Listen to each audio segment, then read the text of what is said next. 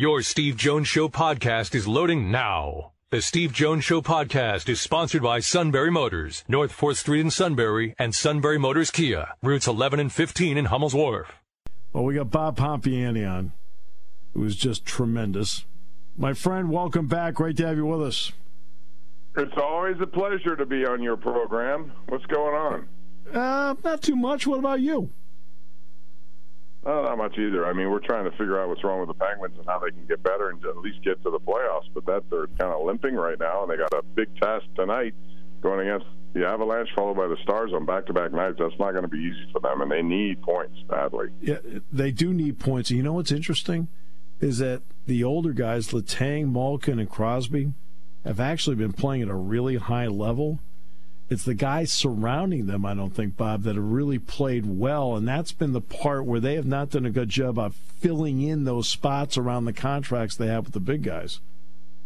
Totally correct. And it started in the offseason when Ron Hextall, when he brought the, everyone back, that's fine. But to your point, I mean, he signed Kasperi Kapanen to a two year, 3 million per year, $6 million deal, which made no sense because he really didn't deserve it based on what he had shown here. And then uh, he gives you know, Brock McGinn a five-year contract. Not the money wasn't great or anything, but still too much term. And then you know he signed Carter to an extension last year, before, and there's no reason for that. He, he could have played this. Now they owe him another year, 3.7, and he's been dead weight, to be honest. Um, they could have, instead of these signings, brought back Evan Rodrigues, who tonight will enter the game against the Penguins with 14 goals for the Avalanche. Uh, that's about 10 more than than Kapanen had scored. Uh, they let you know Brandon Tanev and Jared McCann go. One in the expansion draft, one because they just couldn't afford him. And Jared McCann has 34 goals this year for Seattle, and Tanev has a big role to play with them. So there's so many things they could have done differently. They didn't, and as a result, they scrambled at the trade deadline and ended up with not much. And here they are. They have no. There is like nothing you can do to shake this team up right now because there's no moves they can make.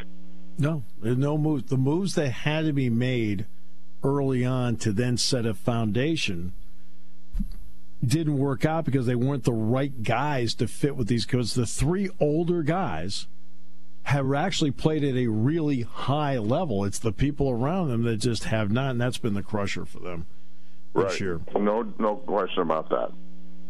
No, uh, uh what are you going to do? That's uh, that's hockey, and their goaltending's been erratic and injured. So that's another situation which will lead to this offseason question: Do they bring Tristan Jarry back. He wants a lot of money, but I don't know that I could trust him. And that's that's the key. You need to trust that spot. You don't have trust in that spot. It doesn't matter what you have everywhere else. What, what's the idea going to be? Let's go out and win like eight to seven every night? No. No, no you can't do that. Not, although it is entertaining. no, it is entertaining, but it's, I mean, that's not the way you're supposed to play hockey games, and very seldom does it get that. But you're right. It would be good if you said you can win those kind of games, but they can't right now because you can't do it with no. just those top three guys. You need more people contributing. No question. Uh, Penn State's going to have its pro day coming up on uh, Friday. And when you look at what the Steelers have done I always feel like free agency sets up the draft, Bob. That then tells you what direction they want to go in the draft. How do you feel the Steelers have handled their free agency during the course of the last couple weeks? Well, on paper, I would have to say, Steve, that they they did what they were supposed to do, and I thought yeah. that their offensive line, while young and inexperienced, and while never missing a game, which is a rarity, they played okay, not great. But they also discovered that you know the guy they had at center last year, Kendrick Green, can't even play. Didn't ever play the game. He got bumped by Kevin Dotson, who wasn't all that much better. Um, Dan Moore is the tackle, and he gave up the most holding calls of anyone from his position. They brought in two free agents, and this year they brought in two more free agents. Last year was uh, you know uh, Mason Cole and uh, and Daniels at the guard position, and today uh, this year they brought in two more guys because they pretty much had to um, which I'm encouraged by because I think they needed to get better. So yeah, uh, that's fine. They also totally dismantled their inside linebacking spot. All three guys who were here that they relied on heavily last year are going to be gone. Myles Jack just released. Devin Bush was a bust. And then Spillane signs with the Raiders, so they have a whole new cast of characters there, which I think needed to be done. They brought in Patrick Peterson, which tells me one thing. Now you can tell me if I'm if I'm I'm going to put two and two together. I may get ten here, but Patrick Peterson was brought in for two reasons. Number one, because he still can play at his age, but I thought number two, because he can be a big help to somebody like Joey Porter Jr. if they decide yeah. to go in that direction, because they still need a young, talented corner. So you give me what you think that, of, the, of that, that is, scenario. That, I think that is exactly the first thing I saw when they when they signed him is what A can play and B can mentor. And yeah. I think I think that's exactly what he can be, and it would be a big plus to Joey to do that. And Joey will be working out on Friday. Um, there, I've been reading that they might have some interest in Bud Dupree. What would you think about bringing him back? Only if it was very, very affordable, very low price. Yes. Um, and that's fine for a low price. Again, you can. They've gone through people like that. Melvin Ingram, they bought right here at a low price. You know, guys who've been around, but he's had a lot of injuries. That concerns me. They made the right move when they didn't retain him, when Tennessee decided to sign him, because he's been injured a lot. He hasn't really given them the bang for their buck, which is why he's now in the position where he's available. So only if the price was right would I do it. They they still need depth there and more people. So he knows the system, and when he's right, he could be a good player. But I, I it would have to be the right price. Yeah, and that's exactly right. It has to be the right number uh, to do that. I have to ask you about Cole Holcomb. He's a guy that has really overachieved at every level. He walked on at North Carolina. Then he ends up being a fifth round pick. And then as a fifth round pick, he gets himself now into this three year deal. It seems like he's overachieved at every level. What did you think about that signing? Um, I thought, it, you know, I thought it was a good signing, and I thought it because he was he's a guy who is very active in the middle, making tackles. You still need that. You still got to stop run games, and still now I I question, I still do. Anyone who's come here in the inside linebacker roles had a problem covering guys down the middle of the field whether it's them or you know safeties who do that. Sometimes they put Terrell Edmunds up if he uh, he hasn't signed here yet, but if he does, he can you know in their sub package defense he becomes more than just a safety.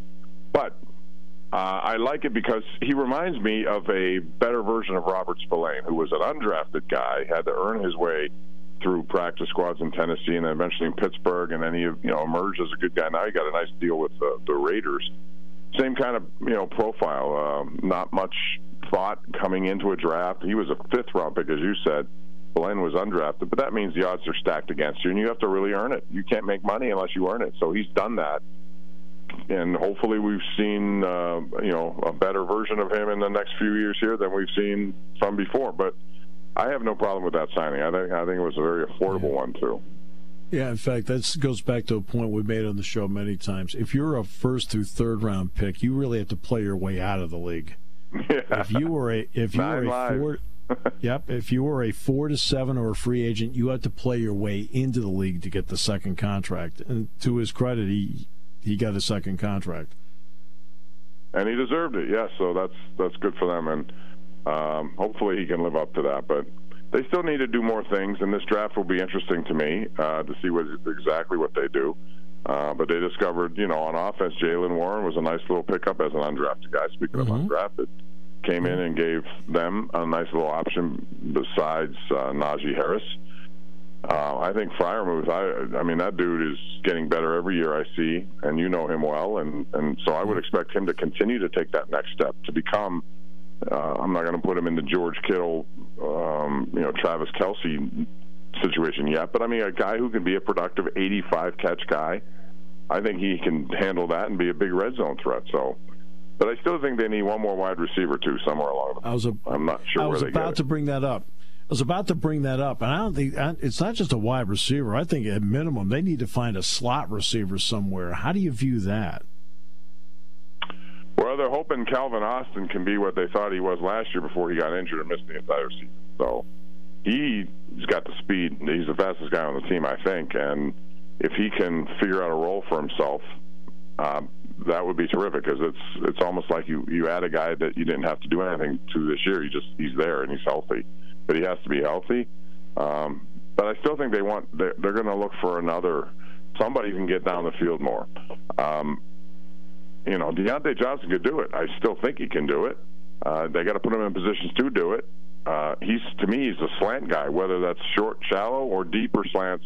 You get him the ball and the money, and Pickett's shown the ability to do that. He can turn that into big plays. He hasn't had too many opportunities last year was kind of a weird year because they started with Trubisky and they they're all conservative. Everything's so it didn't fit in his game. Although he didn't, you know, and you have too many drops, you didn't score a touchdown. It's hard to believe, but um, I, I expect him to get better too, just because he can't get worse from that point of view. Yeah, but that because you bring up Pickett, for example. I mean, it's it's a different animal, I think, going into a training camp. This is something the Steelers are used to. They're used to going to training camp knowing who the quarterback's going to be. Last year, there were there were doubts one way or the other. So at least you feel like in that part, the Steelers are going back to at least knowing who the quarterback is on day one. Absolutely, and you know the the best part about this, if you're them, is that you know how teams search for years to find the quarterback that oh. can be their next, you know, franchise guy.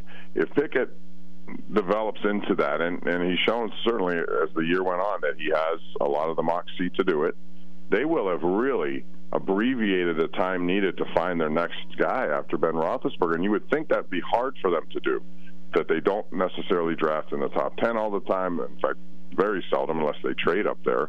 So they would, while some teams still struggle to find those guys, they picked him when a lot of teams last year could have picked him and chose not to pick him, which I was a little bit surprised that no quarterback went in the first three rounds except him. So right. that quarterback class, you have to agree. Uh, were you surprised that nobody? You know, I, I thought quarterbacks are such important people in, in organizations that. Um, that the, the, teams would take them just because they're quarterbacks, and they were, you know, many of them highly thought of. I thought, but apparently not. But you know what? It's interesting. You, if you ask every year the top 32 players, a lot of times you'll see like, let's just do an average, four or five, four quarterbacks will go in the first round, and three of them aren't among the top 32 players in the draft, but because of the position, they're drafted. Yeah. yeah. And this year we'll see that. I bet you we said run on quarterbacks oh, yeah. just because all these teams. Carolina is going to be interesting to see what they do. Right, exa- exactly. Uh, do you have a feel on on how Omar? We know not pretty much how Kevin Colbert took care of the draft. Do you have any feel yet about how Omar Khan likes to do it, or is this still a learning process for everybody as to how he goes about his business? No, I, well, I've known him for a long time, and I mean, you know him from the financial side mostly because that was his um, yeah. you know, mission here is to very good with the cap numbers. Very, and that's still a very important part of this. But I think he's more he's he's not not afraid to be aggressive uh, in certain times and certain things. I think you know we've seen evidence of that uh, with some of the stuff they did. They traded Chase Claypool midseason for a second round pick, or not midseason, whenever they traded for him. Uh, normally, you don't see that kind of activity from them. Uh, now that second pick could be a big pick for them because it comes and they'll have a lot of time to debate who they want because it comes on the first one of the second round. So yeah. they'll have a whole night to sleep on it. But you know that's that shows me. Uh, but I think it's a combination of him and Andy Weidl too. They brought him over for a reason. He's the guy who's going to put together their board. He is the he has the scouts mentality. He knows all that kind of stuff. But you know, people laugh at when they hear the, the Steelers talk about it. That they are they operate like collective, like a group. They they they go in there and they debate it all like everybody else, and I think they come to a consensus. Although I still believe Mike Tomlin has the final say on what goes on, but all the information that they'll take into account and and they'll make their choice. So it, it'll be similar to what Kevin Colbert did, but I think he can be a little bit more aggressive at times. My friend, it's always a pleasure just great talking with you. Not Q and A, just talking with you. I appreciate it so much. I, I, I love doing it anytime. You're one of the best in the business, so it's easy for me to talk to you. I love doing it. You too, my man. I can say the same thing about you. Thank you so much, Bob. Anytime. Steve, you, you call, bet. I'll be answering. you got it.